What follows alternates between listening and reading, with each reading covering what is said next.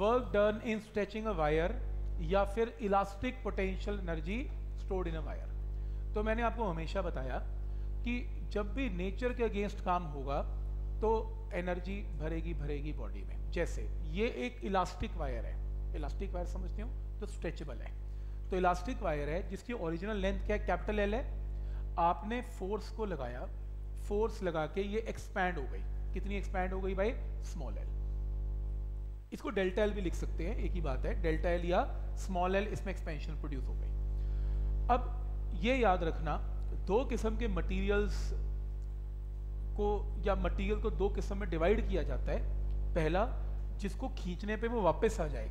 तो ऐसा मटेरियल जिसको खींचने पे वापस आ जाए, उसको इलास्टिक मटेरियल बोलते हैं। और दूसरा, जिसको खींचने पे वो इतना जिद्दी है कि टूट जाएगा, पर वो वापस नहीं आएगा, उसको बोलते हैं प्लास्टिक मटेरियल तो प्लास्टिक बिहेवियर इलास्टिक बिहेवियर दो तरीके के बिहेवियर है। हम यहाँ पर प्लास्टिक बिहेवियर को स्टडी नहीं करते। हम इलास्टिक को करते हैं। जो वापस आएगा। अब एक चीज़ मुझे बताओ। जब आप इसे खींचते हो तो आपको क्या करना पड़ता है? इसके अगेंस्ट इसकी नेचर के अगेंस्ट वर्क डन ये नहीं चाहता कि ये खींचे। क्योंकि अगर ये चाहता खींचे, फिर तो खुद ही खींच जाता ना। नेचर तो चाहती अगर खींचे तो खुद ही लंबे होते रहते। वायर ऐसा होता नहीं ना। तो वो नेचुरल लेंथ पे रहना चाहता है, पर आप ज़बरदस्ती खींचना चाहते हैं, आपको वर्क डन करना है। अब जब वर्क डन करना है तो क्योंकि मटेरियल इलास्टिक है, और सारे इलास्टिक मटेरियल्स के लिए क्या डिफाइन किया जाता है? यंग्स मॉडुलस एक चीज़ याद रखना, ये इंपॉर्टेंट है क्वेश्चन आएगा। आपके पास दो मटेरियल है, एक मोर इलास्टिक एक लेस इलास्टिक तो y की वैल्यू में क्या डिफरेंस होगा? जो जितना इलास्टिक होगा, उसका y उतना ही बड़ा होगा।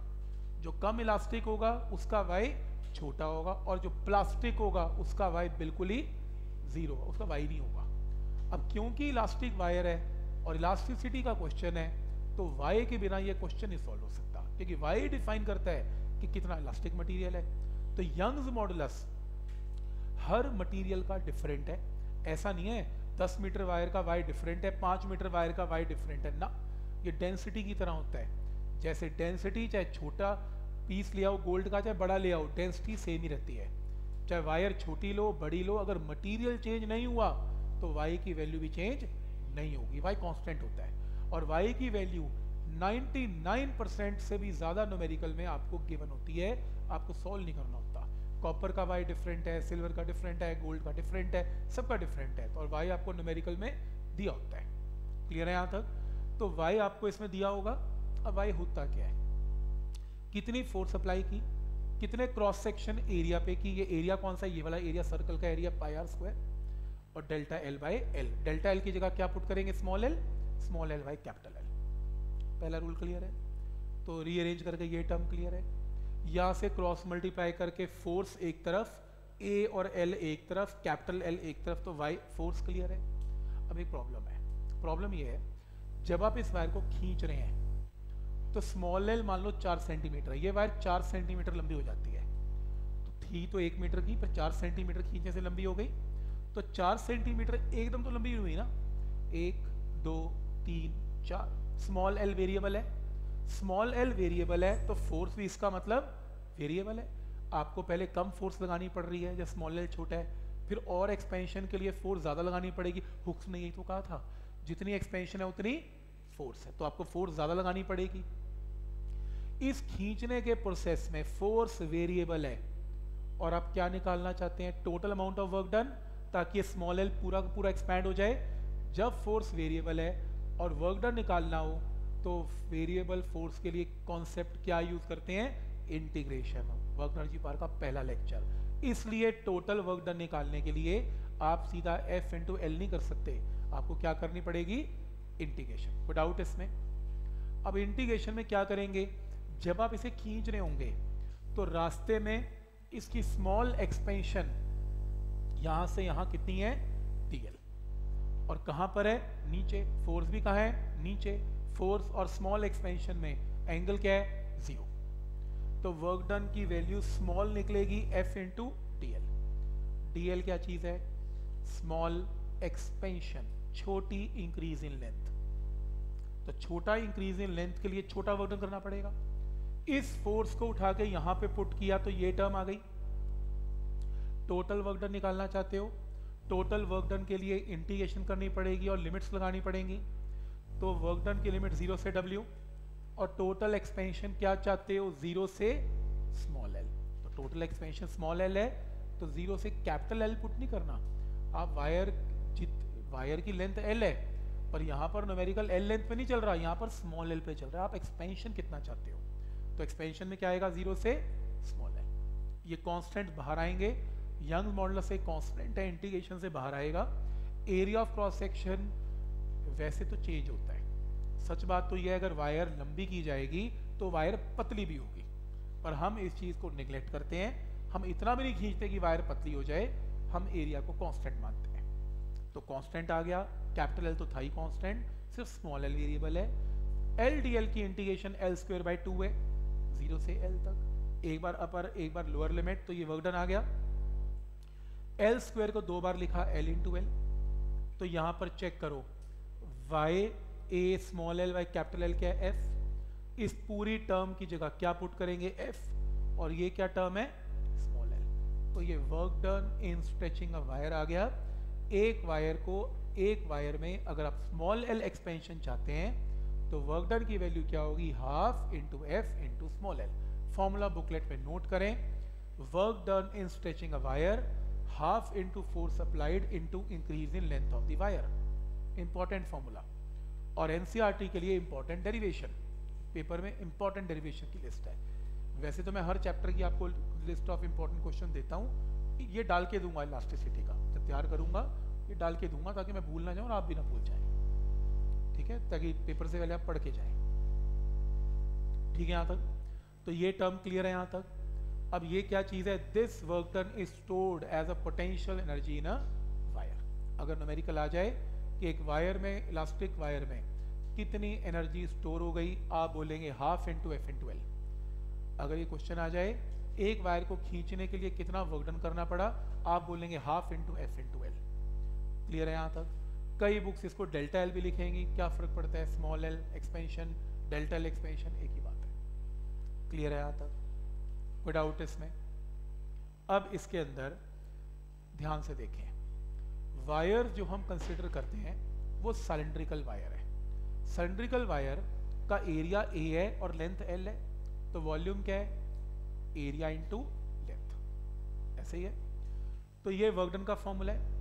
अगर मैं दोनों तरफ़ को वॉल्यूम ऑफ़ वायर से डिवाइड कर दूँ, इधर भी और इधर भी वॉल्यूम ऑफ़ वायर है क्या? एरिया इनटू लेंथ तो area into length area into length तो मेरे पास लेफ़्ट हैंड साइड पे क्या आ गया? Work done per unit volume work done नहीं है वर्क डन तो कर लिया हमने सॉल्व ये रहा वर्क डन हम क्या कर रहे हैं?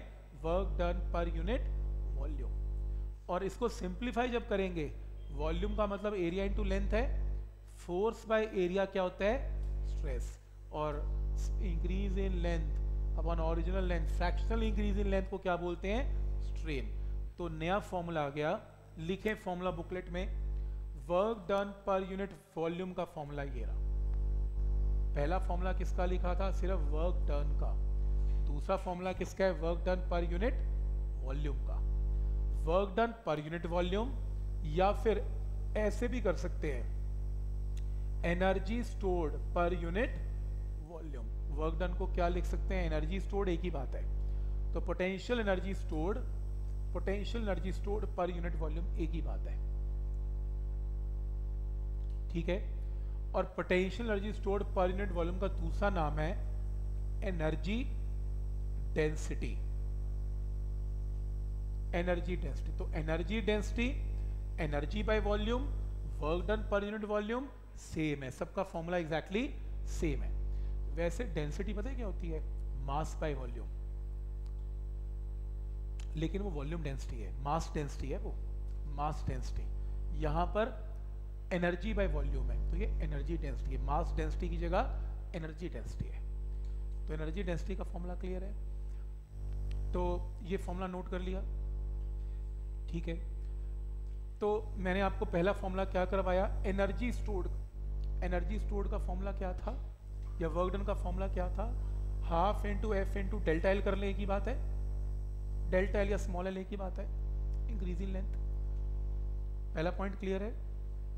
यही वर्क स्ट्रेचिंग वायर है, यही एनर्जी है। और मैंने एनर्जी डेंसिटी का फॉर्मूला क्या लिखवाया? Half into stress into strain ये फॉर्मूला किसका है? एनर्जी डेंसिटी और ये फॉर्मूला किसका है? सिर्फ़ एनर्जी इंपॉर्टेंट एनर्जी का सिंबल बड़ा यू होता है। एनर्जी डेंसिटी का सिंबल छोटा यू होता है। ये भी नोट कर लें। स्मॉल यू का मतलब एनर्जी स्टोर्ड छोटा यू का मतलब एनर्जी पर यूनिट वॉल्यूम या एनर्जी डेंसिटी एक ही बात है।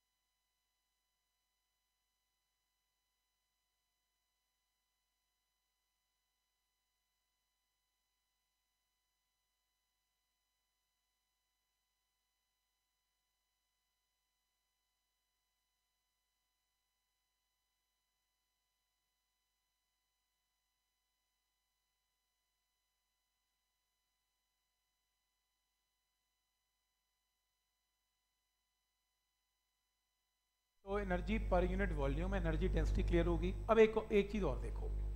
एनर्जी पर यूनिट वॉल्यूम या work done per unit volume का formula half into stress into strain तो half into stress into strain किसका फॉर्मूला है? Work done per unit volume work done मत बोलना। वो half into F into delta L है। अब इसमें काम करते हैं। वाई क्या होता है? स्ट्रेस बाई स्ट्रेन तो स्ट्रेस क्या होता है? वाई इंटू स्ट्रेन तो स्ट्रेस की जगह क्या पुट करेंगे? वाई इंटू स्ट्रेन तो सेकेंड फॉर्मूला नोट करें। Work done per unit volume का पहला formula half into stress into strain work done per unit volume का दूसरा formula half into Y into strain square एक ही बात है, ये और ये एक ही बात है। और उसी तरीके से वाई क्या है? स्ट्रेस बाई स्ट्रेन तो फिर स्ट्रेन क्या होगा? स्ट्रेस अपॉन वाई अगर मैं इस स्ट्रेन को फिर यहाँ पुट कर दूँ तो क्या आएगा? Half into stress square by तो एनर्जी पर यूनिट वॉल्यूम का पहला फॉर्मूला ये, दूसरा ये, तीसरा ये, तीनों के तीनों एक ही आंसर देंगे। अगर आप मुझसे पूछो सर, आपको क्या याद है? मैं ये याद नहीं करता। बुक्स में लिखा है, मैंने न्यूमेरिकल में भी लोग यूज़ करते हैं। मैं नहीं करता, मैं एक ही याद करता हूँ। मेरे को ज़रूरत पड़ेगी, मैं यहाँ से सॉल्व करके अपने फॉर्मूले खुद बना लूँगा।